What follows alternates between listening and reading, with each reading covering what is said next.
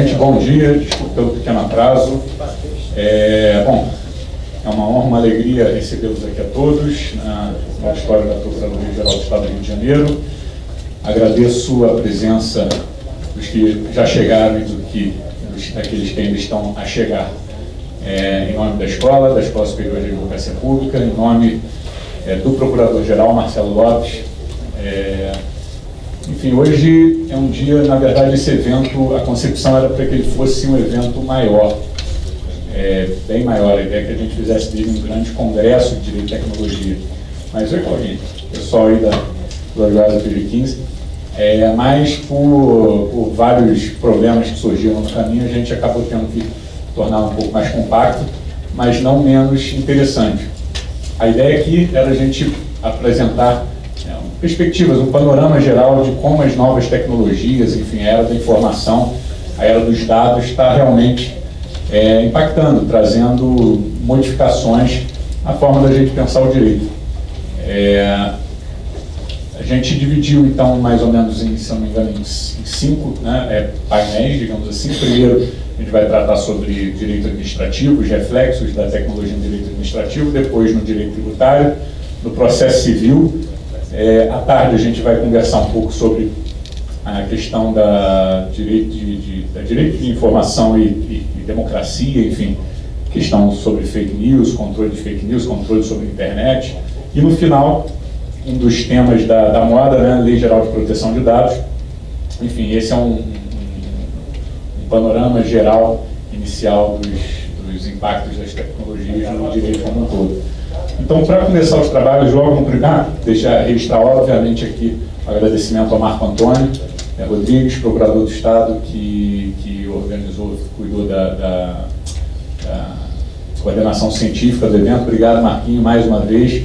A Tatiana Natal, nossa também procuradora, minha amiga, minha grande amiga, não pôde estar aqui hoje cedo, acordou sentindo um pouco mal, também ajudou o Marquinho bastante na coordenação científica do evento. Então vamos começar. Eu queria convidar então para compor a mesa é o Procurador do Estado, Gustavo Benengoin, por favor.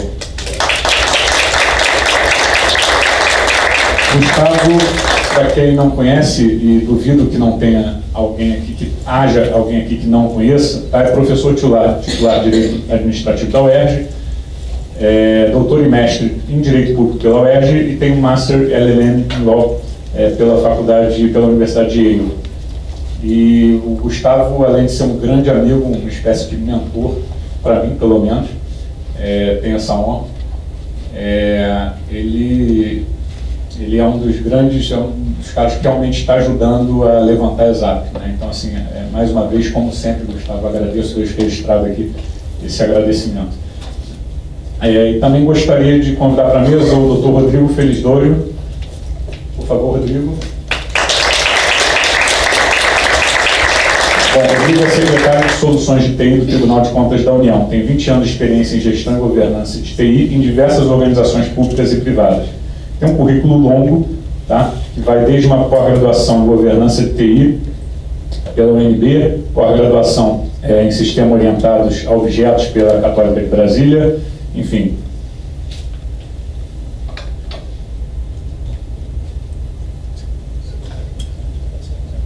Bom, então vamos começar aqui, é, vou começar então sem, sem perder mais tempo, passando a palavra ao doutor Rodrigo. Rodrigo, meia hora. Obrigado, bom dia a todos. É um prazer estar aqui.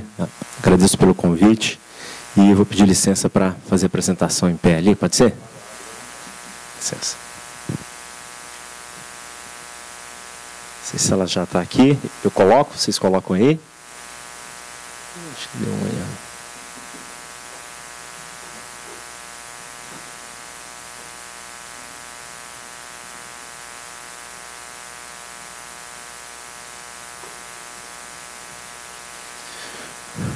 Bom dia a todos. É, a gente veio lá de Brasília, a, a, esperando um sol forte aqui. Chegamos num dia de chuva, mas está um, tá um dia é, é bem gostoso. Bom, a ideia aqui é a gente falar um pouquinho da, do uso da inteligência artificial como um ativo estratégico na administração pública. E aqui nós não vamos entrar em questões técnicas, é, pelo contrário, a, ou seja, a proposta que eu trago é a gente olhar pela perspectiva do uso dessa abordagem, desse arcabouço, dessa tecnologia, para o enfrentamento dos grandes desafios globais e locais. Ok? Então, para contextualizar, é, eu gostaria de. Deixa eu pegar aqui. É, eu gostaria de trazer essa frase aqui, que eu acho que representa o momento que nós estamos vivendo, que a sociedade está vivendo. Né? Nós não estamos vivendo uma era de mudanças, mas sim uma mudança de era. E isso muda completamente tudo. Né? Nós estamos é, enfrentando mudanças nas relações pessoais, profissionais, institucionais, isso num contexto cada vez mais rápido, numa intensidade que nunca já se viu. Okay? Então, nós temos que nos atentar a isso, porque isso traz muitas oportunidades e muitos desafios. Okay? Toda mudança, e principalmente mudanças disruptivas né, na sociedade digital que nós estamos encontrando, nós temos esses dois fatores aí. E nós temos opções né, é, para enfrentar. Ou nós é, surfamos, né, ou seja, a gente consegue surfar nessa avalanche de oportunidades e desafios, ou temos outra opção também, esperar ela passar. Né? É, e muitos colegas e muitas instituições, principalmente instituições públicas, têm infelizmente tido essa, essa postura. Não, eu acho que isso é um modismo, eu acho que já já passa e o meu trabalho eu vou continuar fazendo da mesma forma por muito tempo. Né? É, infelizmente ou felizmente, essa não é a realidade. Okay? E a pergunta é: como é que a gente encara esses desafios e essas oportunidades? Né? E aí eu trago para vocês aqui uma teoria que é bastante interessante de um pesquisador húngaro. É, ele estuda um tema bastante simples, que é a felicidade. É Mihaly, né, ele traz a teoria do flow, que basicamente ela diz o seguinte: olha, nós precisamos encontrar um fluxo né, é, de energia pelo qual as coisas acontecem de forma espontânea. Né? E ele traz nessa, nessa avaliação dois eixos bastante importantes. Ele traz um eixo que é o eixo dos desafios e o eixo das habilidades. Ok? E diz o seguinte: se a gente consegue encontrar um equilíbrio dos desafios que são postos para as habilidades que eu preciso para enfrentá-los, a gente consegue um fluxo de energia que aí ele chama a teoria do flow. É onde, normalmente, quando a gente está lendo um livro, né, um livro interessante, a gente não vê o tempo passar. Nesse momento a gente está ali hum, é, com um nível de energia bastante interessante. E a pergunta que eu faço para os senhores é, no momento que nós estamos, quais dos, quais dos eixos, os desafios ou as habilidades está sob o nosso controle hoje? O que, que vocês acham? Os desafios, eu consigo alterá-los? Eles estão postos. Não há possibilidade de cada vez maiores esses desafios. Consequentemente, é, por outro lado, o eixo das habilidades está sob o nosso domínio. Né? Nós nos prepararmos para esse novo, ou seja, essa nova era, seja esse novo contexto. E ele diz o seguinte: quando os desafios são muito maiores do que as habilidades, a gente entra no estágio de ansiedade. Por outro lado, quando as habilidades são muito maiores, você tem muito mais habilidade do que os desafios que são postos, a gente entra no estágio de tédio. Essa mesma teoria fundamenta também a teoria de jogos, que é utilizada na construção de games, onde você vai ganhando mais experiência e vai aumentando o seu nível de dificuldade. Se você tem muita experiência e tem um nível de dificuldade baixo, você vai entrar no estágio de tédio. E a pergunta que eu queria trazer aqui é, é quem se encontra neste nível de tédio, onde as suas habilidades são muito maiores do que os desafios que você encontra no seu dia a dia, vida profissional, vida pessoal. Quem? Não tem ninguém entediado? Não? A pergunta segunda é importante também. Quem se encontra no estado de ansiedade, aonde os desafios são bem maiores do que as nossas habilidades? Eu vou levantar as duas. Isso não é uma característica é, é, do Brasil, do Rio de Janeiro, né, do serviço público. Não. Isso acontece no mundo inteiro. Os, os, os medicamentos mais vendidos no mundo são os ansiolíticos.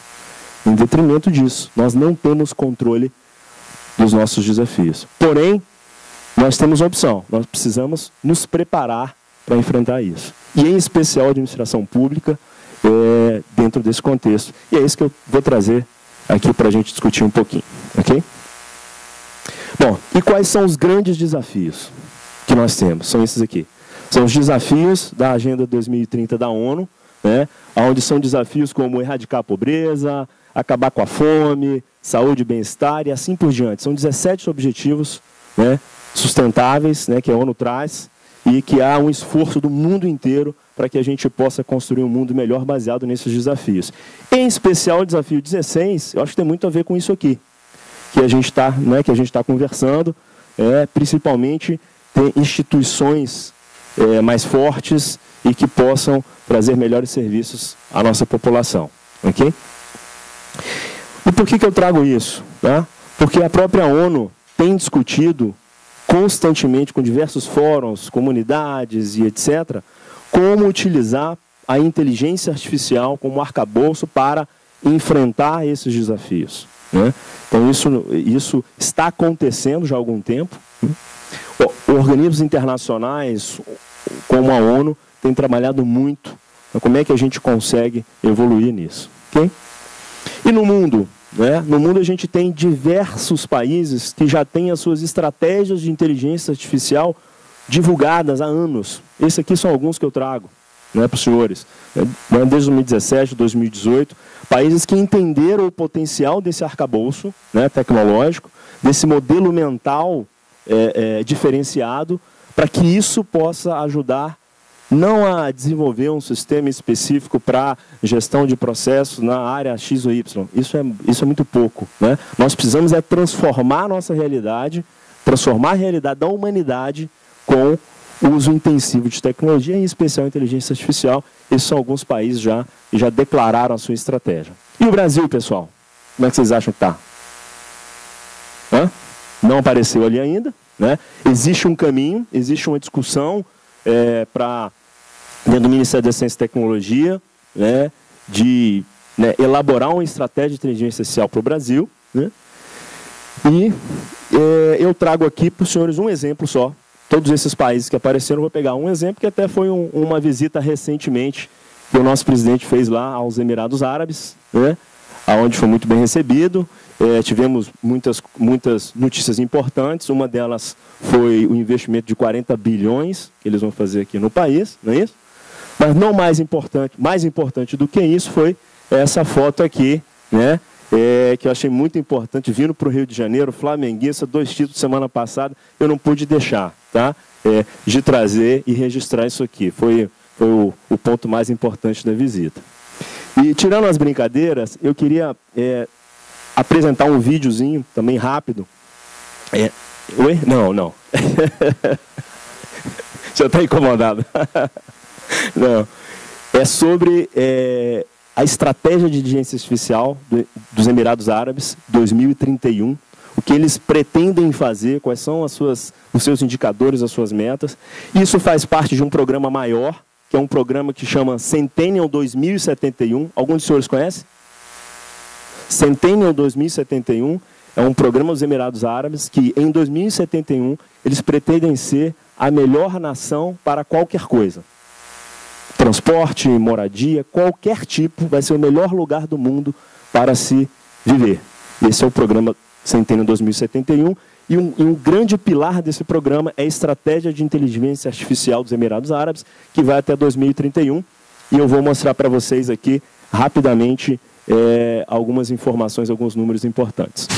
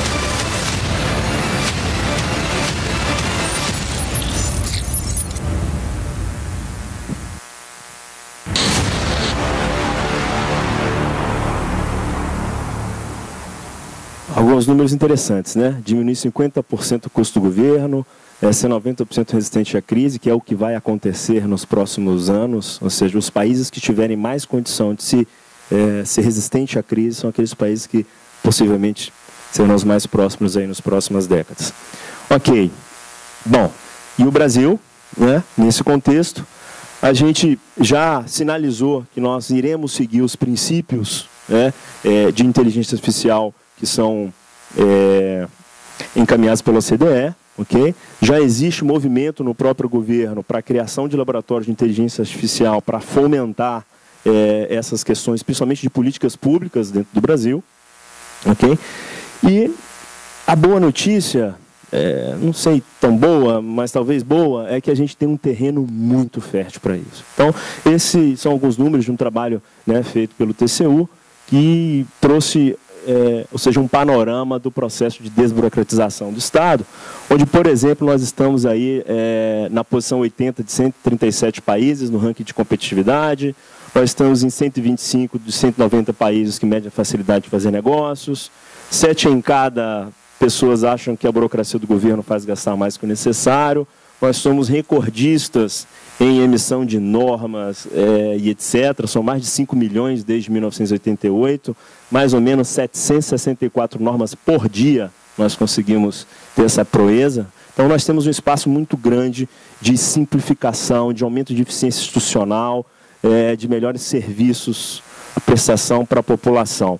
Esse é um outro quadro interessante que traz né, uma visão de 2017 e 2018 sobre o relatório de competitividade global é, do Fórum Econômico Mundial e traz aí essa parte mais escurinha, é a América Latina, a, os pontos aqui é, em azul é o Brasil, né, a gente tem um mercado muito grande, alguns pontos bastante positivos, mas dois pontos chamam a atenção aí, e a gente precisa avançar bastante. A sofisticação de negócio, o ambiente de negócio para o Brasil é muito ruim, a gente está alguns anos esperando investimento de fora, vão, né, vão passar mais um pouquinho, é, porque a gente precisa realmente simplificar esse ambiente de negócio e a questão da inovação, a gente precisa também ficar muito atento quanto a essa questão.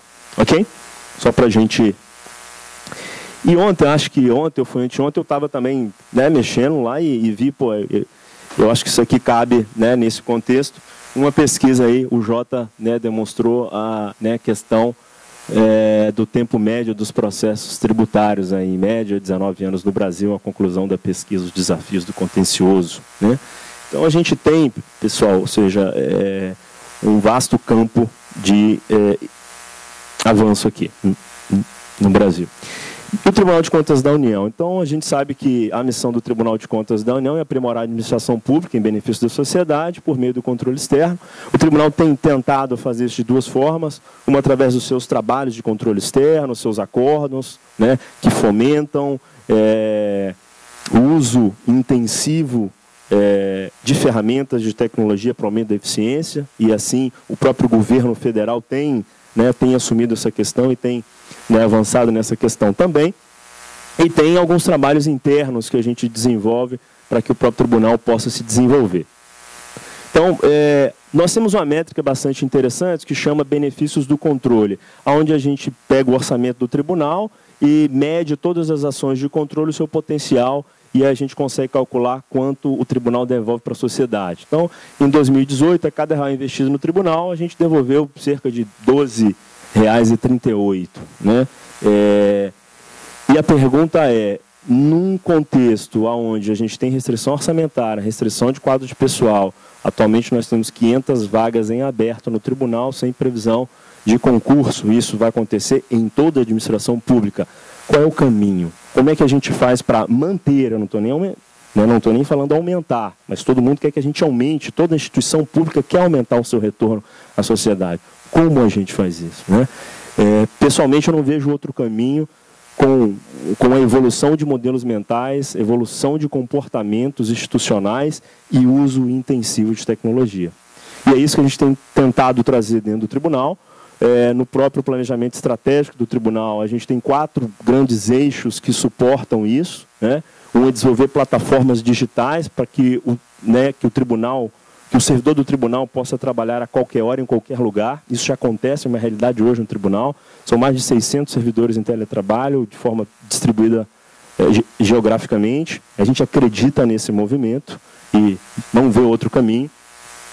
Intensificar o uso de inteligência artificial como instrumento de transformação do controle externo e evolução institucional também.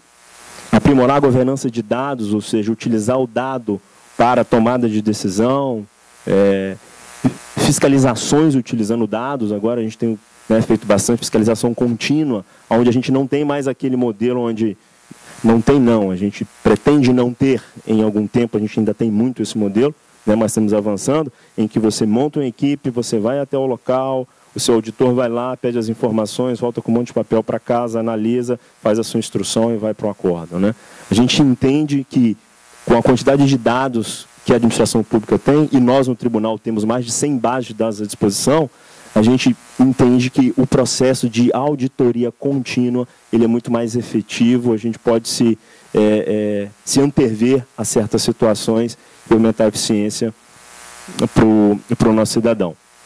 O outro é transformar digitalmente esses processos de trabalho aí, que é até uma famosa transformação digital, prestar serviços de forma melhor para a sociedade. Bom, algumas soluções as pessoas sempre me pedem. Ó, oh, Rodrigo, fala um pouquinho de algumas soluções, né? traz algumas, alguns exemplos concretos aqui. Então, a gente tem uma solução que chama Detecta, que é uma solução que é um algoritmo cognitivo que, ao, ao ser disponibilizado a minuta de acórdão, esse algoritmo cognitivo ele lê o texto, processa o texto, identifica as principais entidades, identifica possibilidades de erros materiais nesse acordo. Em 2016 houve uma, uma inspeção da Corregedoria do Tribunal que verificou um aumento significativo de acórdãos retificadores em, em, em razão de, de erros materiais.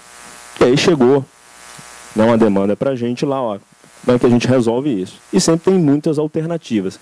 Tem uma que é muito comum né, no serviço público, é vamos criar uma área, uma estrutura, a gente coloca um chefe, bota sete pessoas, as pessoas vão fazer a revisão, né, vão ler os acordos e tentar identificar possíveis erros materiais. Essa seria a alternativa, assim como outras.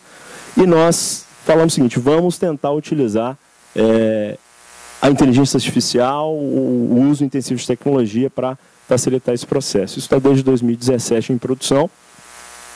Nós fizemos uma continha rápida em termos, considerando que cada processo, e lá a gente considerou que cada processo só tem uma decisão, a gente sabe que isso não acontece, cada processo tem N decisões. A gente pegou mais ou menos, fizemos uma continha de padeiro ali, com 110 milhões de processos em tramitação no Brasil, né? e chegamos perto de uma economia só com identificação de erros materiais de quase 700 milhões de reais. A gente um componente que é possivelmente compartilhável né, com as instituições de vocês, né, com as instituições que, que tiverem interesse. O TSE, por exemplo, tem, né, tem, tem contato com a gente lá para que a gente possa é, ajudá-los nessa questão também. E o que, que é erro material? É um CPF que o nome está diferente, é uma citação de uma norma que já foi revogada, e, e e a gente começou a expandir isso, não só em erros materiais, mas, por exemplo, em tipologias que são importantes, como eu estou aplicando uma multa no falecido.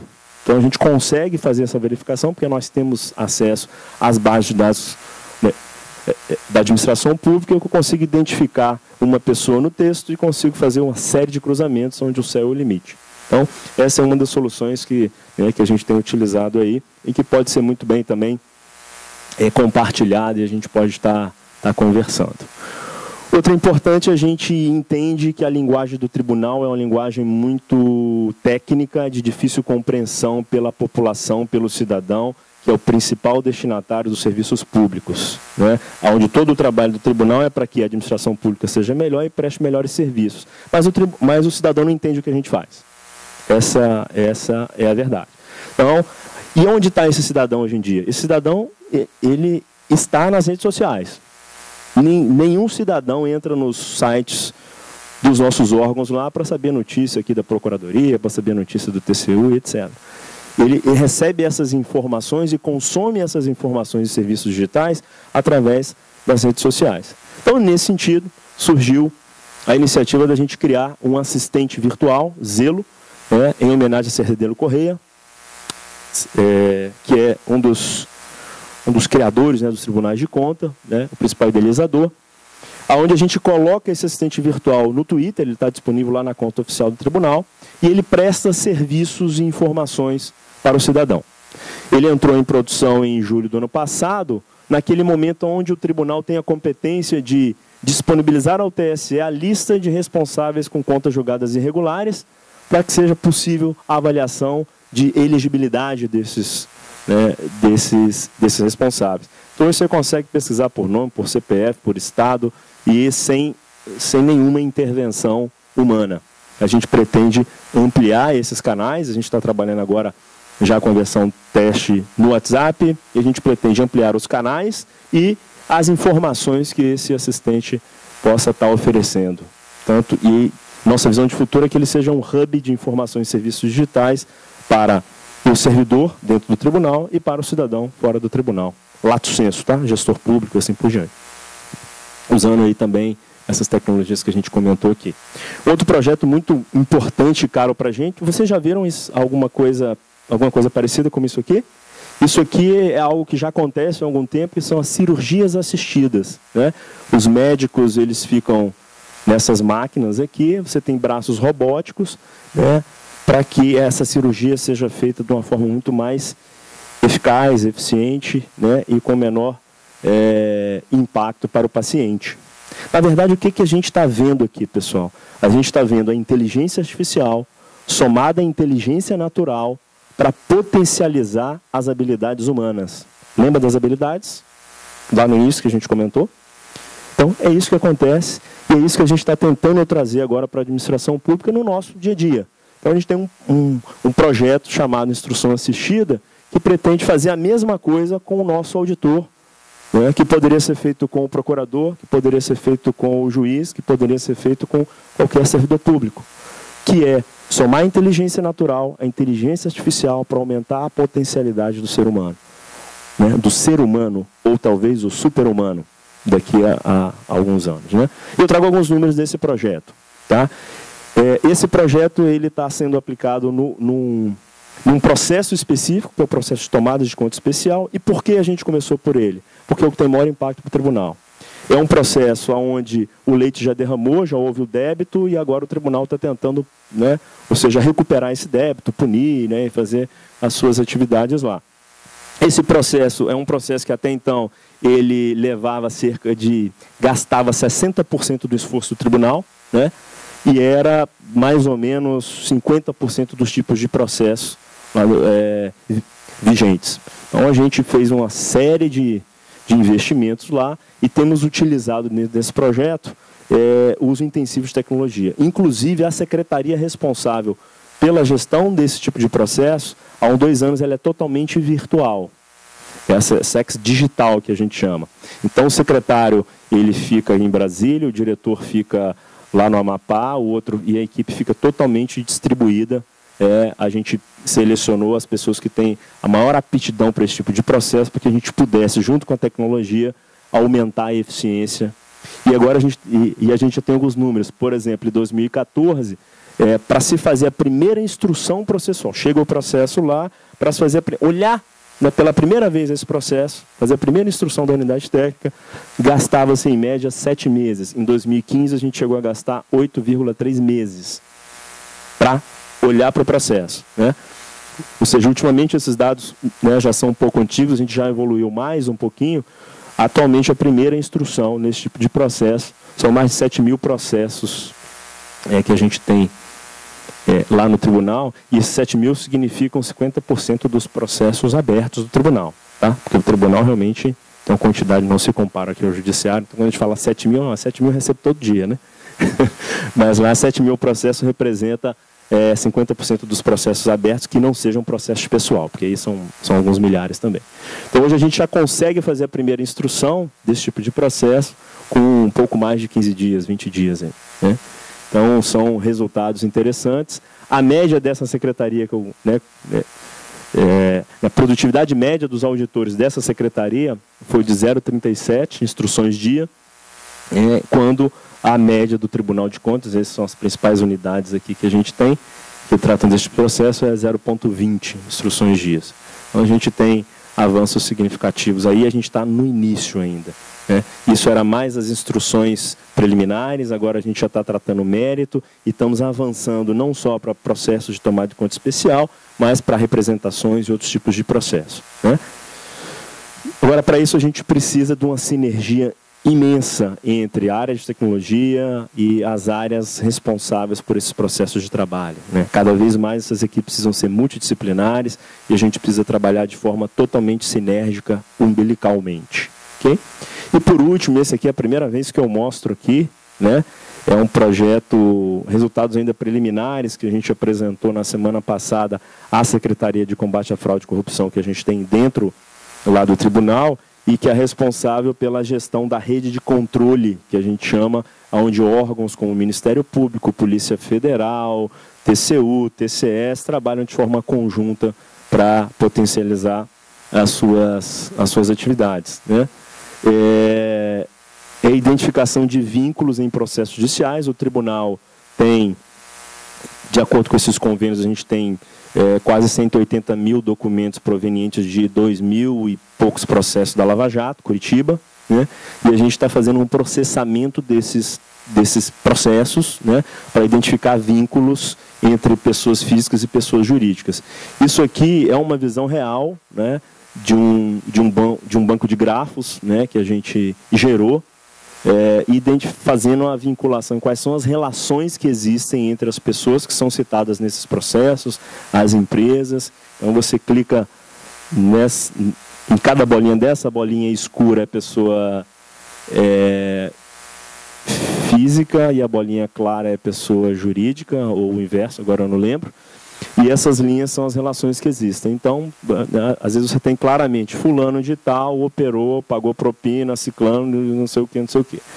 Isso ajuda muito no processo né, é, é, das ações de controle do tribunal, né, guardando, guardando as competências de cada órgão, mas para a instrução dos processos do tribunal é importante em determinada obra, quando está se fazendo aquela instrução, aquela avaliação, é, quais foram é, os, os, fatos ou acontecimentos ou indícios que ocorreram ali. Né?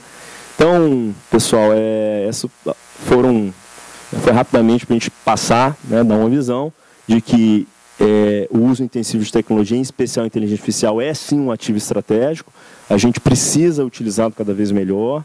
O Brasil precisa avançar nessa questão. Vários outros países já estão é, muito à frente. Né? E no âmbito da administração pública, nós precisamos, eu acho que, trabalhar de forma mais conjunta. Né? Em todos os, os, eventos que eu passo, eu gosto de deixar essa mensagem. Né? Você tem vários órgãos é, que às vezes trabalham sobre, né, sobre a mesma questão de forma isolada. A gente precisa trocar informação, eu acho que esse evento é muito importante para isso. É, e coloco o Tribunal de Contas da União, em especial a Secretaria de Tecnologia, à disposição dos senhores, para que a gente possa aí trabalhar conjunto e quem sabe, melhorar a vida do nosso, de nós mesmos, cidadão. Obrigado.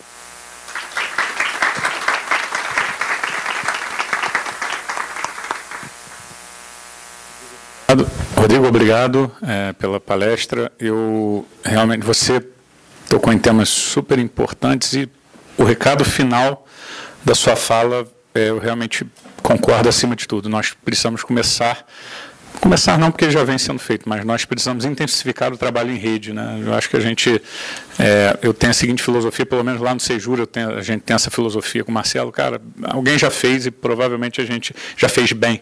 A gente não precisa começar do zero. Vamos pesquisar o que, que já fizeram, que a gente já ganha uma escala muito grande. Então, obrigado. Vou até no final aqui, já enquanto sua palestra estava acontecendo, eu conversei aqui com o nosso secretário de gestão, Flávio Lauria, que ele é o responsável pela TI da casa. Já quero que você converse com ele ele, justamente para a gente botar isso que você falou em prática. Então, mais uma vez, agradeço. E, sem delongas, já vou passar a palavra para o meu amigo Gustavo Benemboy. Gustavo, você tem a palavra. Obrigado, Rodrigo. Bom dia a todos. É uma, uma satisfação, uma honra poder participar de um evento com essa temática da, das novas tecnologias e o seu impacto sobre o direito. É, nesse painel é, receber o Dr. Rodrigo Felizdório do, da área de TI do, do TCU. Foi muito interessante ouvi-lo sobre esse, é, essa reação introversa da administração pública, tentativa de absorção dessas novas tecnologias para a própria otimização do funcionamento da máquina, maximização dos nossos objetivos uh, como Estado. Uh, e a minha, a minha exposição vai ter como foco uh, os efeitos extroversos eh, decorrentes de tecnologias disruptivas que modificam o objeto da regulação estatal. Né? Esse, é uma, esse foi um, um tema que eu abordei numa palestra que está publicada no Jota, cujo título é Novas Tecnologias e a Dinâmica das Mudanças Regulatórias. Foi objeto de uma palestra num evento na Faculdade de Direito de Harvard, que aconteceu em abril do ano passado e que eu agora tenho a oportunidade de submeter a, a toda essa audiência e a quem nos ouve é, pela internet. É, antes de mais nada, queria, é sempre bom registrar que o, o, o reconhecimento pelo trabalho do Sejur, sob a liderança do colega Rodrigo Valadão, a, a retomada da ideia da Escola Superior da Advocacia Pública e dizer que eu sou realmente entusiasta disso, acho que de uma atividade outrora considerada meramente complementar da nossa uh, uh, vida profissional, acho que a, a, a, a atualização, a, eu, eu, eu, diria a reprogramação intelectual dos procuradores é condição sine qua non para que os serviços que a Procuradoria presta ao Estado e à sociedade possam é, manter a sua relevância. Então não se trata mais é, de uma espécie de, é, é de, de, uma benfeitoria voluptuária da nossa vida profissional. Ao contrário, é condição sine qua non, da condição de possibilidade do, dos serviços que a PGE tem pela frente, dos desafios que temos a enfrentar é, como órgão público. Uh, Queria cumprimentar os colegas professores, colegas procuradores que organizaram o evento. Estou vendo aqui que chegou a Tatiana Natal, Marco Antônio Rodrigues, os colegas que vêm do Rio Grande do Sul, do Paraná, da Bahia. Estou vendo aqui a nossa querida Alzimério Brito, Zizi, para os íntimos. É, colegas, procuradores, é, alguns alunos. É, dizer que esse é um tema que é, tem desafiado o direito ao longo do, dos séculos talvez o que se assista hoje seja um fenômeno mais agudo, mais radical, produto da aceleração dessas transformações. Né? As, as, novas tecnologias os novos modelos de negócio não, não esperam pelo direito. Né? enquanto a, a, função básica do direito é criar é, relações sociais estáveis e previsíveis, é, o engenho humano ele trabalha justamente na subversão desses modelos. E não há nada de errado nisso. Né? A criatividade e a liberdade de criar e inovar é inerente à nossa espécie. Né? Foi a primeira espécie que fez a pinça e com isso talhou o mundo à sua imagem e semelhança. A primeira espécie que utilizou o fogo ah, para o cozimento dos alimentos e com isso conseguiu alcançar uma liberação calórica que, segundo os neurocientistas, é a chave, o famoso elo perdido entre uh, os antigos primatas e os primatas inteligentes, e daí se gerou toda a cadeia evolutiva. E é a primeira espécie que gera relações de confiança entre as pessoas, que é também condição sine qua non para as trocas sociais, para o processo civilizatório e para a existência do que a gente chama de mercado. Então, jamais essa capacidade humana, né, representada lá no, no livro do Gênesis, no mal denominado pecado original, nada mais era do que o, o, fruto do conhecimento, a árvore do discernimento, que, a meu ver, é o arquétipo do ser humano enquanto é, é animal que adquire consciência da própria existência e das consequências dos próprios atos. E é isso que nos difere dos animais não humanos, e é isso que faz o ser humano ser esse experimento extraordinário é, que a vida convida à recriação da própria existência.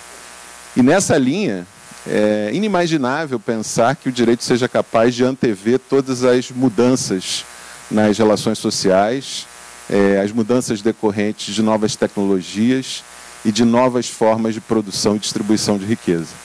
O que nós vemos hoje na revolução digital, no uso dessas novas tecnologias, é subproduto disso.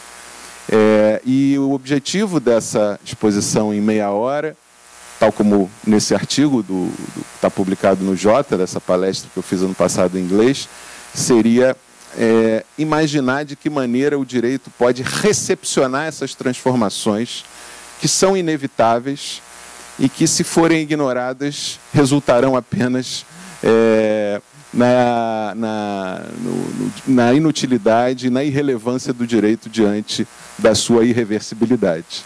Né, eu sempre digo que quando o direito vira as costas para a realidade, a realidade agradece e vira as costas para o direito, e o fenômeno das transformações é, econômicos sociais decorrentes desses novos modelos é, ligados a novas tecnologias e novas formas de organização social é um exemplo paradigmático para ser estudado é, e implementado na prática. Então, eu imaginei um framework, uma espécie de estrutura dessa dinâmica de mudanças regulatórias decorrentes de, desses novos, dessas novas tecnologias disruptivas, que se diferenciam, a meu ver, pela intensidade da transformação, da evolução tecnológica é, gradativa né, ou, ou, ou evolutiva, é, pelo fato de que há um descompasso muito grande entre é, os modelos tradicionais e os modelos propostos pela inovação. Então, nesse é, framework, nessa estrutura de quatro etapas, a gente sempre encontra numa primeira etapa uma espécie de conflito entre é, os novos negócios, os novos modelos tecnológicos e o direito posto. Isso significa que mercados tradicionais sofrem um impacto muito radical é, no comportamento dos consumidores, é, uma pressão muito intensa sobre os preços para baixo e uma pressão muito intensa sobre a qualidade para cima. Ou seja, os consumidores reagem racionalmente, em geral é assim.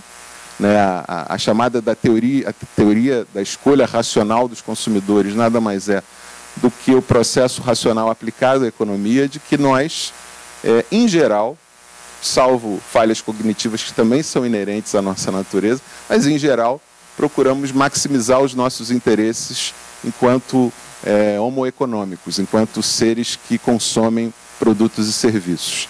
E se é assim, quando surgem novos modelos de negócios que nos oferecem serviços ou produtos por melhores preços e melhor qualidade, evidentemente que isso causa um estrago, uma transformação no comportamento dos consumidores e desafia o status quo, que são os agentes econômicos já estabelecidos e que, pela influência legítima ou às vezes ilegítima dos seus lobbies, das suas formas de interferência no processo de produção normativo, tem lá uma instrumentalização do fenômeno jurídico adequada ao funcionamento desse mercado nos moldes velhos. Quando o consumidor ou usuário de serviços públicos modifica o seu comportamento e passa a ser consumidor ou usuário de novos produtos ou novos serviços, é claro que há uma reação. E nessa primeira etapa, há a reação travestida na defesa da legalidade. Quer dizer, quando se fala é, na reação é, dos lobbies é, dos táxis, na reação contra o, o, os aplicativos de transporte individual de passageiros, na reação dos hotéis contra os aplicativos de Airbnb e todos os outros que surgiram na sua sequência, da, do, das empresas de telecomunicação é, contra é, o WhatsApp, é, das empresas concessionárias de radiodifusão e de telefonia fixa, que não são concessionárias, são exploradores de atividade econômica, contra o modelo novo de streaming, Netflix, Prime Video e outros. É, em geral, essa reação, obviamente, é política, pelas vias é, dos lobbies oficiais ou extraoficiais em países que não o legalizaram, mas também ela é jurídica sob a forma da defesa do Estado de Direito. O discurso é, é esses novos modelos estão subvertendo o Estado de Direito, estão subvertendo a legalidade, tornando as relações sociais é, é, de estáveis em, em, em muito instáveis e acabando com a condição básica do funcionamento do mercado, que é a sua previsibilidade. O que acontece, no entanto, é e, e, e esse é um dos aspectos fascinantes das transformações decorrentes de novas tecnologias, é uma interação entre direito e democracia, que é a interação natural provocada nos estados democráticos de direito pela participação social. Nem sempre uma participação social institucionalizada e canalizada pelas vias tradicionais, desde as revoluções liberais do final do século XIX, partidos políticos, é, plebiscitos, referendos. Às vezes, essas formas de participação tomam o, o, os canais das próprias novas tecnologias. As redes sociais, o WhatsApp, são utilizados até para denunciar que os velhos players estão se utilizando do, do, da velha estrutura jurídica como um mecanismo de reserva de mercado, como barreira de entrada a novos players, é, que tem, obviamente, como objetivo individual a, a maximização dos seus lucros, a expansão dos seus negócios, mas que provocam um efeito colateral é, para o interesse público, para os interesses dos consumidores, de ampliação do seu bem-estar social. Né? Isso em direito econômico é melhores serviços, mais concorrência, menores preços e, consequentemente, eventualmente, a eliminação dos concorrentes incapazes de sobreviver nesse novo ambiente, nesse novo cenário. E aí surge uma segunda etapa nesse modelo, que é a reação da sociedade, que em geral tem como aliados é, políticos que são simpáticos a essa causa, seja porque foram influenciados pelo, pelo lobby, pelos lobbies dessas, dessas novas corporações, e, mas, sobretudo, uma reação dos órgãos de defesa da concorrência. Isso na América do Norte foi assim, isso na Europa, na União Europeia, que é mais resistente às inovações, tem sido assim, isso no Brasil foi assim. Nos órgãos de defesa da concorrência, tanto os órgãos judicantes, por decisões pontuais, como os órgãos eh, de atuação mais direta no que tem sido chamado ao longo dos séculos, dos, dos, das últimas décadas, de advocacia de defesa da concorrência. É, em geral, é uma advocacia é, mais de produção de informação e manifestações no espaço público.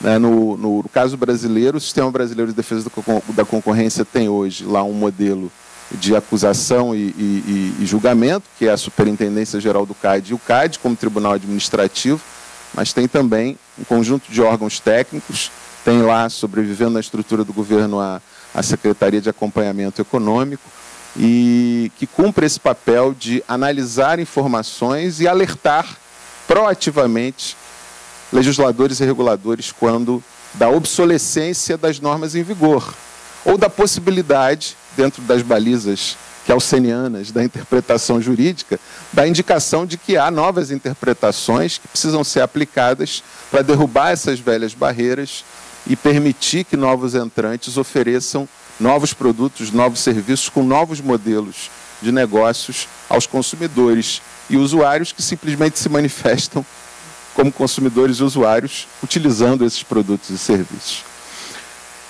A terceira etapa é, é, quase que inexorável, isso também tem acontecido no mundo inteiro e no Brasil não tem sido diferente. Como os órgãos de defesa da concorrência, como os canais institucionais não têm muitas vezes força para derrubar essas barreiras, o conflito se instaura perante o Poder Judiciário.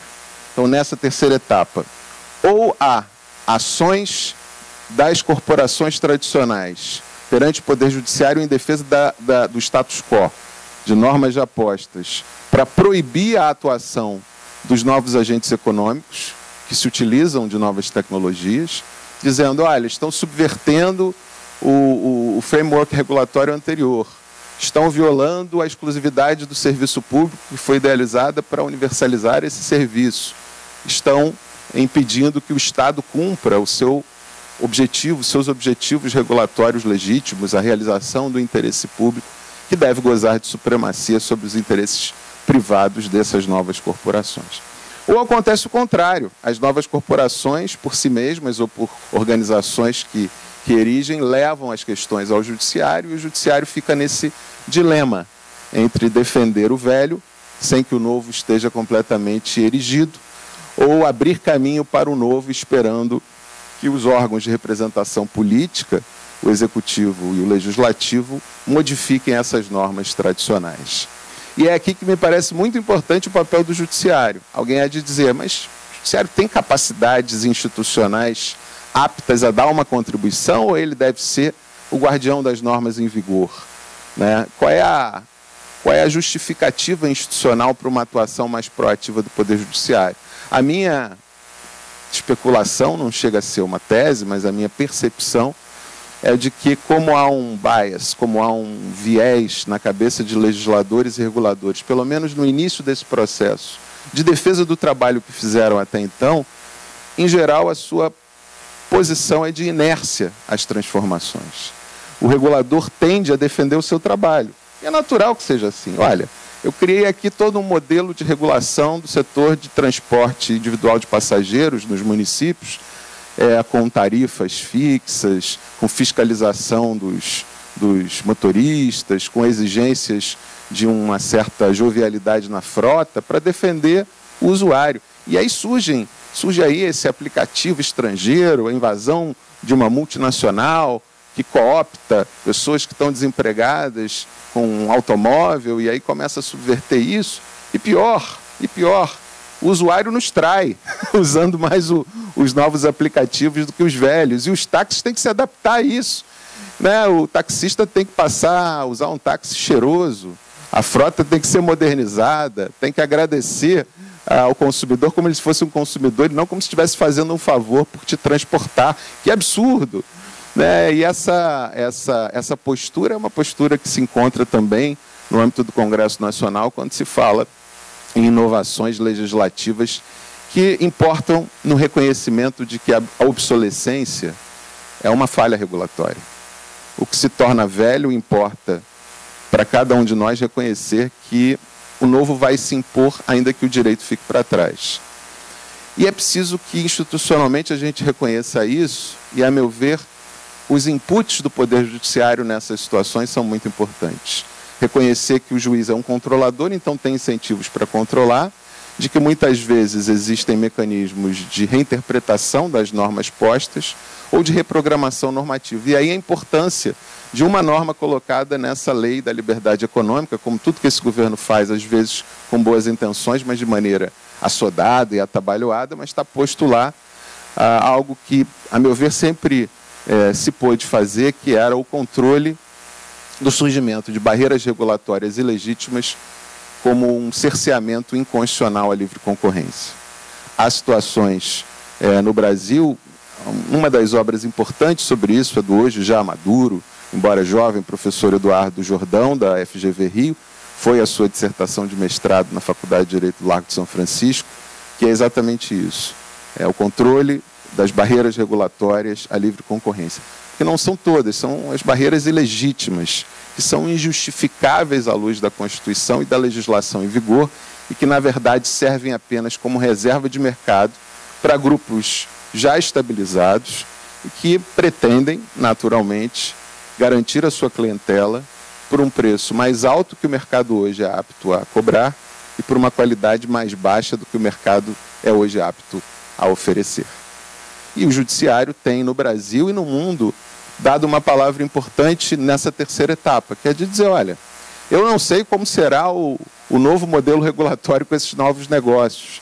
O judiciário não tem condições de lidar com, esse tam, com um tamanho de incerteza informacional como, como esse. Quais são os impactos dessas novas tecnologias sobre o meio ambiente, às vezes sobre a privacidade dos usuários, às vezes sobre é, é, um novo modelo que pode ser muito concentrador também em termos de, de players no mercado, mas o judiciário pode identificar situações em que essas velhas normas se tornaram barreiras ilegítimas à entrada e dar um input, a meu ver, de maneira qualificada, dizendo essas normas não estão mais em vigor. Então, o estándar que eu proporia era: se houver proatividade da parte de legisladores e reguladores, abrindo espaço, dando boas novas, né, o inglês se chama welcoming rules, para a novidade, para a inovação benéfica ao consumidor, ok, o judiciário deve estar na sua postura tradicional de deferência ao que foi feito pelos órgãos de representação política até então.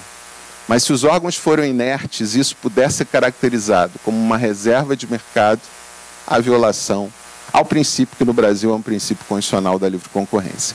Foi isso que o Supremo fez no caso do julgamento dos aplicativos de transporte individual privado de passageiros. Fixou duas teses jurídicas. A primeira, leis que impedem o transporte individual privado de passageiros é, por livre escolha são violadoras da livre concorrência. Então, leis municipais ou mesmo estaduais que previam que o serviço de táxi era exclusivo impedem a livre escolha do consumidor, impedem, eu não chamo isso de usuário, porque isso não é serviço público, mas ainda que fossem, a assimetria regulatória de concorrência entre o serviço público e a prestação do serviço privado se imporia por uma determinação constitucional.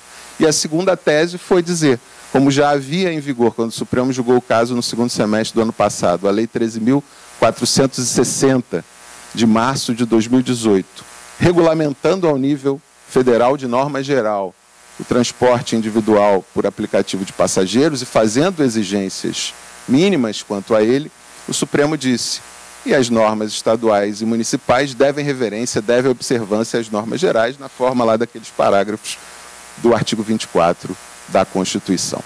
É claro que essa não é a última etapa, essa é na minha estrutura que eu tentei elaborar didaticamente para tentar compreender o fenômeno, a terceira etapa, e a quarta etapa é a da regulação.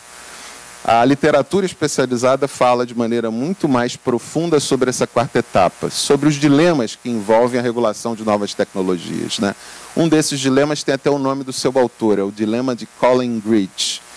É, o que se pensa aqui é o direito tem que lidar com incertezas e com a dificuldade de optar entre regular, regular muito ex ante e inibir o surgimento e o desenvolvimento de novas tecnologias. Nós vamos assistir aí concorrentes desses aplicativos de utilização de imóveis, de transporte individual de passageiros, de streaming e de tantas outras coisas que estão por surgir, aplicativos de transporte coletivo de passageiros é, por ônibus e por outras formas, é, e isso vai desafiar a forma de compreensão do mundo jurídico sobre como regular seus impactos para o consumidor, para o meio ambiente, é, para a sociedade em geral, sobre os preços, como isso vai nos levar a um novo mundo.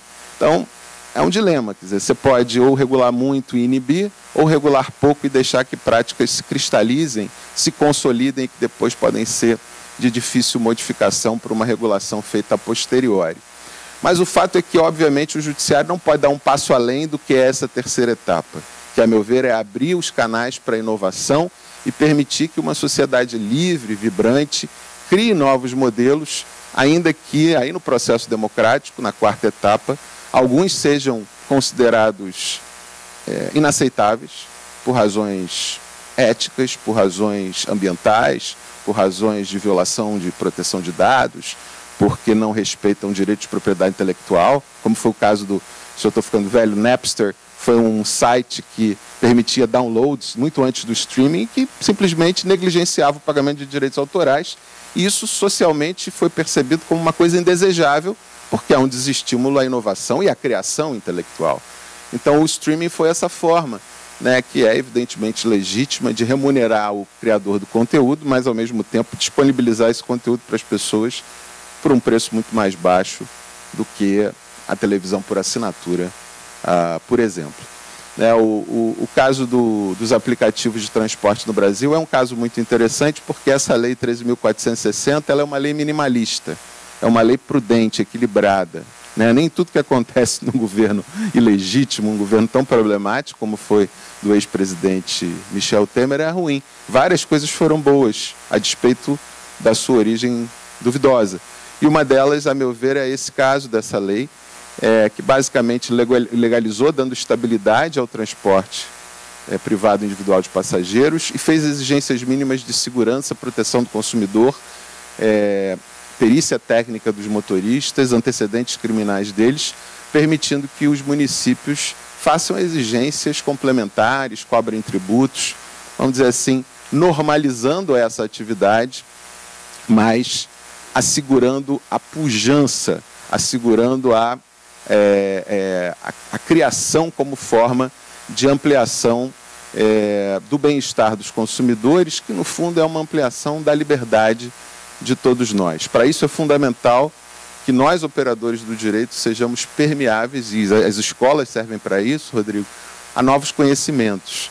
É, quando eu vejo o ministro Barroso usar argumentos de análise econômica do direito e um seu par, professor da Faculdade de Direito do Lago de São Francisco, que foi o ministro Lewandowski, dizendo: ministro Barroso, análise econômica é um argumento de direita. Pelo amor de Deus. Né?